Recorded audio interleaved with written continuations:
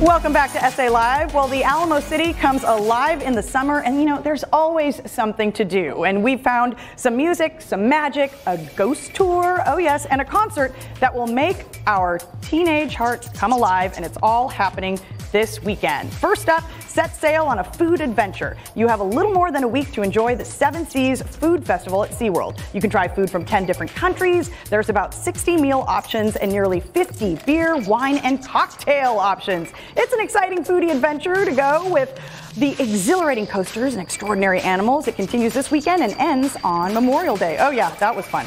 Okay, the 40th annual Tejano Conjunto Festival is going on right now and it continues into the weekend. It features the very best in conjunto music and dancing over five days in Rosedale Park. There'll be dozens of bands performing tonight through the weekend, including a student showcase to kick off Saturday and Sunday.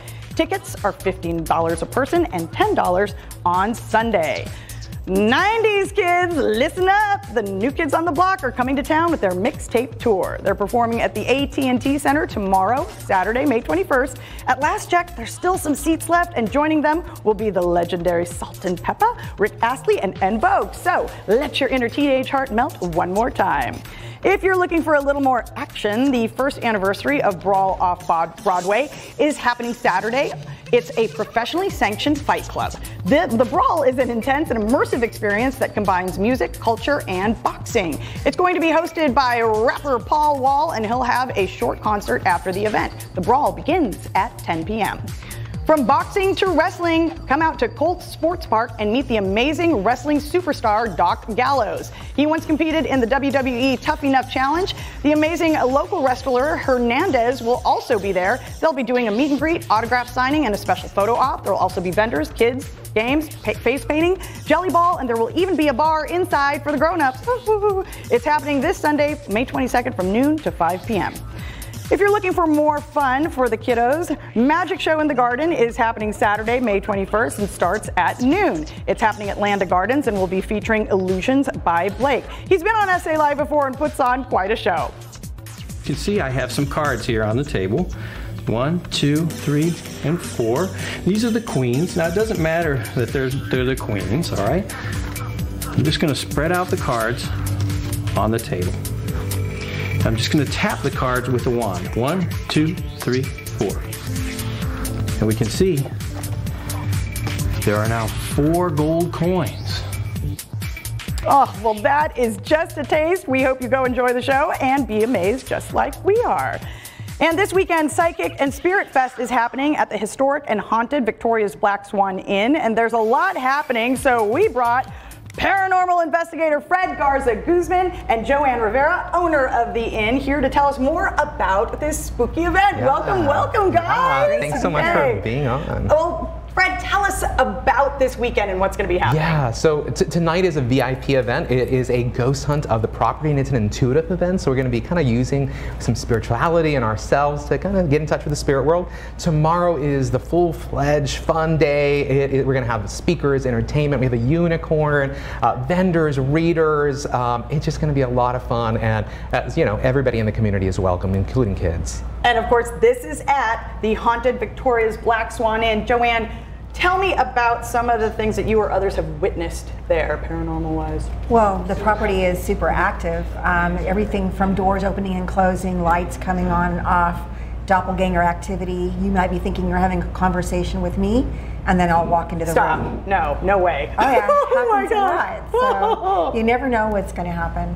Oh my gosh! And look, you're, you're you're seeing it right there on your screen. Okay, Fred, tell us about your paranormal background. Sure. So um, ever since I was a kid, I had kind of weird spirit activity happening, and so as an adult, uh, I started going on ghost tours and all over the you know the United States and getting really interested. I started ghost hunting, and then I decided with my husband, hey, I think we should do a ghost tour company here in San Antonio and kind of share the stories that we grew up with. That's a, and yeah. of course you do tours year round, right? Yeah, all all year. Okay. Yeah. And you brought something with you, and tell us what it is. So I brought some divining rods. I'm going to hand you a pair. Okay. Um, but divining rods here in Texas, we've used them for a long time. They're a device that people use to find water, also electricity. But now we have SAWS and CPS. We don't need them for that, but we can use them for spirit communication to get in touch with our subconscious. So the idea isn't that spirit's little fingers are moving these. It's really that we're tapping into our subconscious and getting answers that we can understand. So they give us yes or no answers. So I'm going to kind of demonstrate if that's Okay. okay with you. So if you want to do this with me, you can. So I'm going to hold them to my chest. Okay. And I'm going to start off by finding a key. Can you show me a yes answer?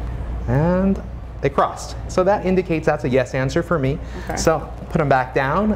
And how about you do a no answer? So if you want to Okay. just put them up and see, can you show me a no answer? Can you show me a no answer? And that no answer is apart from the cross position, I believe. Okay. So, oh, my yeah. God. I, I may not have the touch. oh yeah, no, no, they're moving. Okay, There you there, go. we go. There you go. Very cool. Yeah. Okay. Now, all right. Uh, now, of course, San Antonio. A lot of history here. Yeah. A lot of activity here. Yeah. Spirit-wise, right? Yeah, there, there's a ton of it. Everything, you know, from our Native American ancestors to today, our, our rivers and our creeks are still alive with that kind of energy and magic. We just want to make the paranormal a little more normal for folks and just like give people devices like this and let them kind of decide for themselves what's real and maybe what's not. And how can folks join in on the fun this weekend? Well, we're open all weekend. We open every first and third weekend for the artisan market. But this weekend, they'll be able to come and have readings, experience the different shops, food trucks, complimentary alcohol at the bar is always a big plus. Um, the VIP ticket tonight is awesome because you're actually going to get to participate in an investigation of the property. Um, you can come and spend the night with us when you're ready. and it's just a lot of fun. So the whole weekend is going to be filled with lots of spirit activity. All right. Thank you both so Thank much. you. Kick off your summer with the spooky events there at the Psychic and Spirit Fest at Victoria's Black Swan Inn. Again, it's tonight and tomorrow. For more information, all you have to do is uh, head to our website, salive.com, and click on the As Seen on SA Live tab.